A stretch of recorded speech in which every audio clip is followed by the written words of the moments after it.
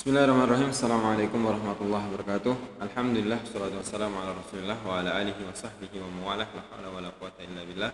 Allahumma 'allimna ma yanfa'una wa anfa'na bima 'allamtana wa zidna 'ilman ya rabbal alamin. Rabbi israh li sadri wa yassir li amri wa hlul 'uqdatam min lisani qawli. Teman-teman yang dirahmati oleh Allah Subhanahu wa taala, insyaallah kita akan melanjutkan pembelajaran kita. Kita di pelajaran nahwu masih di al-maf'ul bihi masih kita di pelajaran maf'ul bihi. nah, uh, kita murojaah sebentar sebelum kita lanjut ke uh, untuk sesi kali ini insyaallah kita akan membahas tentang uh, kita mengerjakan di tamrin 5 kemudian setelah itu kita belajar tentang i'rab bagaimana cara mengarabkan misal contoh di maf'ul bihi. Nah, kita mengulang al-qaidah Kaidah al-maf'ul bihi ismun mansubun wa alaihi fi'lul fa'il. Ini udah Ustaz jelaskan dua kali. Al-maf'ul bihi ismun mansubun wa alaihi fi'lul fa'il. Jadi isim mansub isim isim yang keadaannya mansub atau lebih kita mudahnya salah satunya itu dengan fathah waqa alaihi fi'lun fa'il yang dia menjadi korban ataupun objek dari suatu pekerjaan. Nah, kita ini adalah tamrin ya. Ini adalah uh, tamrin 5. Ya, ini adalah tamrin 5. Insya Allah nanti kita nanti ini adalah tugas buat kalian ya. Tamrin 5. Nanti kalian mengerjakan ini. Perintahnya adalah yang pertama Ij'al ahadal ismainil ladaini bainal qausaini fa'ilan.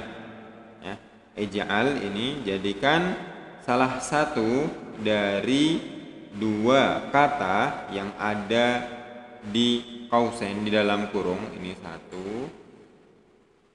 Ya kemudian satu lagi ini. Jadi dalam setiap dalam kurung ini ada dua kata wal akhir maf'ulan bihi fi jum fi jumalin mufidah. Nah, yang pertama, isim yang pertama ini, nah ini kan ada dua, ini yang pertama, ini yang kedua. Yang pertama adalah al-waladu, kemudian yang kedua ada al-ma'u. Perintahnya adalah jadikan al-waladu itu sebagai fa'il, kemudian al-ma'u dia sebagai maf'ul bihi. Begitu juga selanjutnya. Nah, dalam yang nomor dua ini ada dua kata. Yang pertama yaitu as-safinatu. Ya, as-safinatu. Kemudian yang kedua adalah al-hawa'u.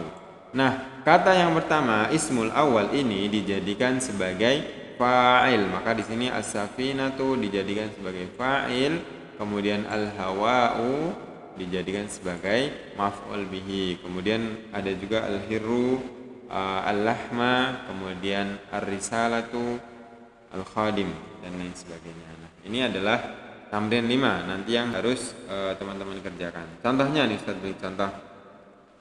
Syaribal waladu al-ma'a. Syaribal waladu al-ma'a.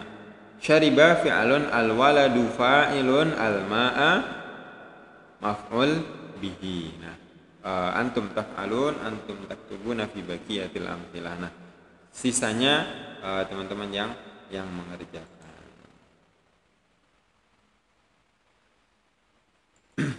Oke. Okay.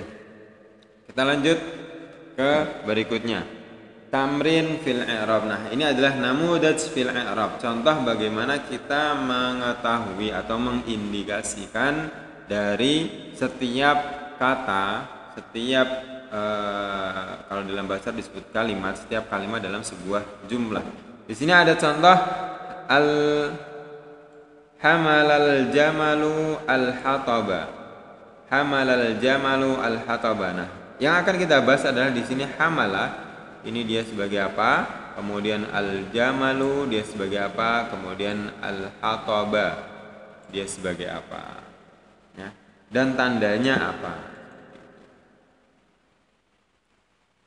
Nah, kita uh, tulis satu persatu. Yang pertama adalah hamala. Hamala ini dia sebagai apa? Nah, kita jelaskan di bawahnya. Hamala. Hamala adalah fi'lu madin mabniyun 'alal fathi. Ya, jadi eh, apa namanya? Hamala ini adalah fi'il madhi, fi'il kata kerja mabniyun 'alal fathi. Mabni ini artinya adalah tetap. Jadi hamala di sini dia tetap dalam keadaan fathah di mana pun dia berada, dia tidak bisa berubah mabniun alal fathai ini hamalah. Kemudian yang kedua adalah al jamalu. Al jamalu di sini kedudukannya dia sebagai apa? Kita tulis di bawah. Al jamalu. Al jamalu dia sebagai apa? Al jamalu dia adalah sebagai fa'il karena dia yang mengerjakan. Hamal al jamalu. Al jamalu dia sebagai fa'ilun marfu' fa'ilun marfu'un wa alamatu raf'ihi dhammatun dhahiratun fi akhirih fa'ilun marfu'un wa alamatu raf'ihi dhammatun zahiratun fi akhirih. Nah, ini dia adalah fa'il marfu'. Apa itu marfu'? Marfu' adalah raf' keadaan fa'il. Ditandai dengan apa? Alamat raf'nya adalah dham dhammatun. Nih, ini adalah dhammatun zahiratun fi akhirih. Dhammah yang nampak di di akhirnya. Ini al-jamal. Kemudian sisa satu lagi yaitu al-hataba. Nah, al-hataba ini dia sebagai apa? Al-hataba. Nah, al-hataba di harokat terakhirnya apa? Oh, harokat terakhirnya dia adalah fathah. Nah, ini berarti bisa jadi dia adalah maf'ul bihi ya maf'ul bihi mansubun wa alamatu nasbihi fathatun dhahiratun fi akhirih.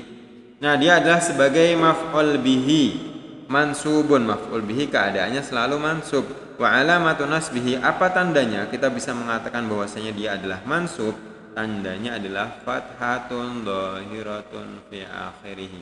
Fathah nih fathah nih fathah yang nampak di akhirnya. Ya ya nampak jelas nih fathah. Kemudian ini kalau di fa'il tadi nampak jelas ini dhammah. Nah ini disebut fathatun atau dhammatun dhahiratun fi akhirih. Nah jadi kalau a'rif hadhil jumlah ya arabkan hadhil jumlah. Jumlah ini hamala al-jamalu al-hataba. Hamala. fi'lu madin mabniyun 'ala al-fathi al-jamala fa'ilun marfu'un wa 'alamatu raf'ihi dhammatun dhahiratun fi akhirih al-hataba maf'ulun bihi mansubun wa 'alamatu nasbihi fathatun dhahiratun fi akhirih la'allakum tafhamun semoga bisa dipahami.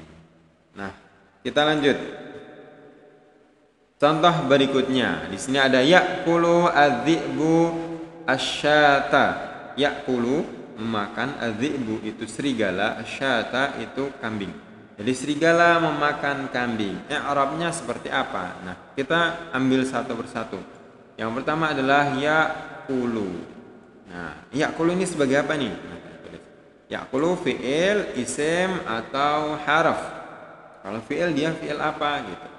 Nah, di sini yakulu dia adalah sebagai al-fi'lu al-mudhari'. Jadi dia adalah fi'il mudhari' marfu' wa alamatu raf'ihi dhammatun zahiratun fi akhirih. Nah, dia adalah fi'il mudhari' marfu' ya. Fi'il mudhari' dulu kita sudah belajar bahwasanya tandanya dia harus ada uh, huruf mudhara'ah di depannya yaitu ya salah satunya adalah ya. Kemudian harokat terakhirnya apa? Harokat terakhirnya adalah dhammah, maka dia mar marfu. Jadi fi'lun mudhari'un marfu wa alamatu raf'ihi. Alamat raf'nya apa? Kenapa kita bisa mengatakan bahwasanya ya'kulu ini adalah fi'il mudhari' marfu karena ada dhammatun dhahiratun fi akhiri karena ada dhammah di yang nampak di di akhirnya ini ya. Kemudian adzibu, adzibu dia sebagai apa? Sebagai pelaku. Pelaku kalau dalam bahasa Arab dikenal sebagai apa? Dikenal sebagai fa'il maka adzibu di sini dia adalah sebagai fa'il fa'ilun marfu'un fa'il yang yang marfu. Wa alamatu raf'ihi dhammatun zahiratun fi akhirih fa'ilun marfu'un wa alamatu raf'ihi dhammah. Ya alamat rafa'nya tanda rafa'nya itu adalah dhammah zahirah fi akhirih dhammah yang nampak di akhirnya. Kemudian ada satu lagi terakhir yaitu asyata. Syah, mana syah?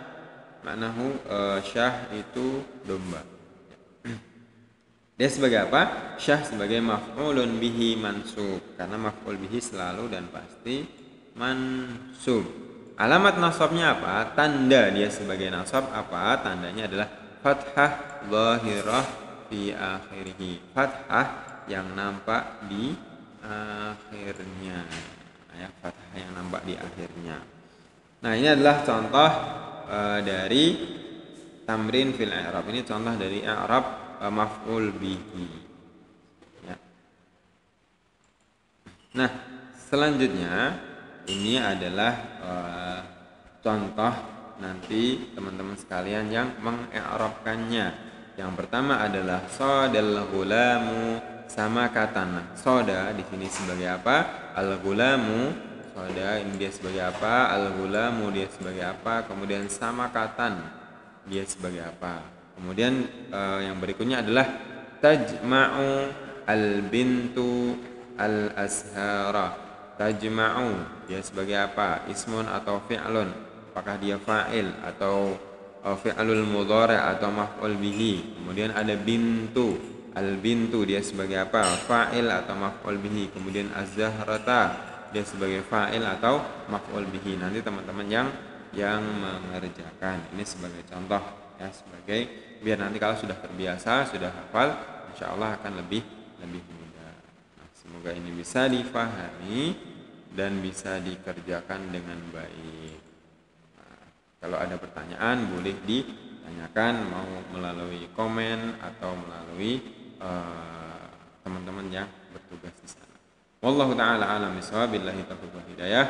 Assalamualaikum warahmatullahi wabarakatuh.